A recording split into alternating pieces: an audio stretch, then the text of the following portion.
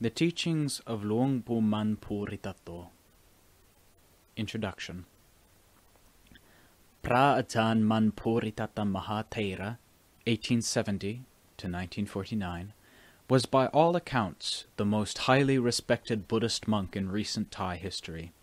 He was born in 1870 in Ban Khambong, a farming village in Ubon Ratchathani province, northeastern Thailand. Ordained in 1893, he spent the major part of his life wandering through Thailand, Burma, and Laos, dwelling for the most part in the forest, engaged in the practice of meditation. He attracted a large following of students, and, together with his teacher, Prajahn Sao Kantasilo Mahathera, was responsible for the establishment of the forest ascetic tradition that has now spread throughout Thailand and to several countries abroad. Much has been written about his life, but very little was recorded of his teachings during his lifetime, despite his fame as a teacher. Most of his teachings he left in the form of people, the students whose lives were profoundly shaped by the experience of living and practicing meditation under his guidance. Only one slim book of passages drawn from his sermons, Muttodaya, A Heart Released, was published during his lifetime. His students generally believed that he himself never wrote down any of his teachings, but at his death, a poem entitled Khandha Vimutti, the Ballad of Liberation from the Khandhas, was found among the few papers he left behind. The Ever-Present Truth These selections are drawn from a collection of sermon fragments appended to the book Muttodaya as part of a commemorative volume distributed at Pra Man's cremation in 1950. The collection was drawn from notes of Ajahn Mun's sermons taken by two of his students during the last two years of his life, covering a wide range of topics, including some standard accounts of the Buddha's life. The selections included here comprise all of the passages dealing directly with the practice of virtue and meditation. Some of Ajahn Mun's direct students have commented that the fragments would have been more subtle and insightful if the students who recorded them had been more advanced in their own meditation practice. As a result, we can only guess as to what the original sermons were like. Still, what has been recorded is worth reading and putting into practice, and so it has been translated and offered here as a gift of Dhamma for all who are interested. Muttodaya Muttodaya, a heart released, is a record of passages from his sermons made during the years 1944 and 45 by two monks who were staying under his guidance, and edited by a third monk, an ecclesiastical official who frequently visited him for instruction in meditation. The first edition of the book was printed with his permission for free distribution to the public. The title of the book was taken from a comment made by the Venerable Chao Kun Upali Gunupamacariya, Jan who, after listening to a sermon delivered by Pra Ajahn Man on the root themes of meditation, praised the sermon as having been delivered with muttodaya, a heart released, and as conveying the heart of release. The unusual style of Pra Ajahn Mun's sermons may be explained in part by the fact that in the days before his ordination, he was skilled in a popular form of informal village entertainment called Maulam. Maulam is a contest in extemporaneous rhyming, usually reproducing the war between the sexes, in which the battle of wits can become quite fierce. Much use is made of wordplay, riddles, puns, innuendos, metaphors, and simple playing with the sounds of words. The sense of language that Ajahn Mun developed in Maulam he carried over into his teachings after becoming a monk. Often he would teach his students in extemporaneous puns and rhymes. This sort of wordplay he even applied to the Pali language, and a number of instances can be cited in Muttodaya. In section 3, the pun on the word dhatu, which can mean both physical element and speech element, or a phoneme. The use of the phonemes na, mo, ba, tha.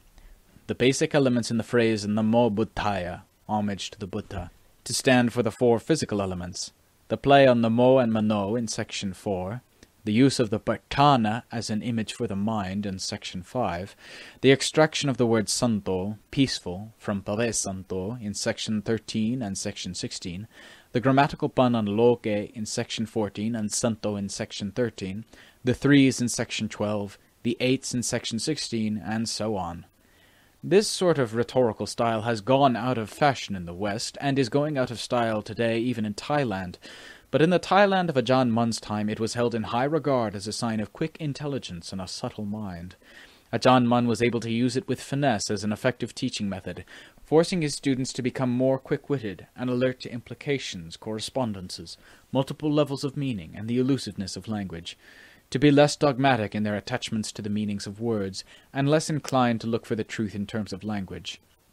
As Ajahn Mun once told a pair of visiting monks who were proud of their command of the medieval text, The Path of Purification, the Niddesa, the analytical expositions on virtue, concentration, and discernment contained in that work were simply nidana, fables or stories. If they wanted to know the truth of virtue, concentration, and discernment, they would have to bring these qualities into being in their own hearts and minds.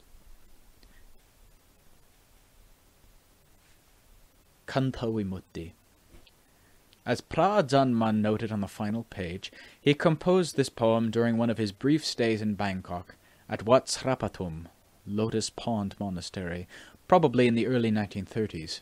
He was apparently inspired by an anonymous poem on the theme of meditation composed and printed in Bangkok during that period, for both poems share virtually the same beginning. The 39 lines in the following translation beginning with, Once there was a man who loved himself. Ajahn Mun's poem, however, then develops in an entirely original direction and shows by far a deeper understanding of the training of the mind. Translating the poem has presented a number of difficulties, not the least of which has been getting a definitive reading of the original manuscript. Ajahn Mun wrote during the days before Thai spelling became standardized. Some of the passages were smudged with age, and a few seem to have been corrected by a later hand.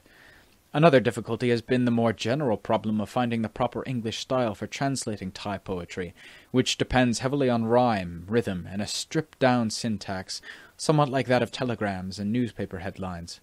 This style gives Thai poetry a lightness of style combined with a richness of meaning, but frustrates any attempt to pin down any one precise message for the sake of translation. An excellent lesson for anyone who feels that the truth is what is conveyed in words.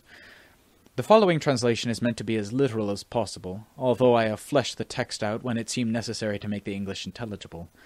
Because the original alternates between two poetic forms, glon and rai, I tried to create a similar effect in English by alternating blank verse and free verse.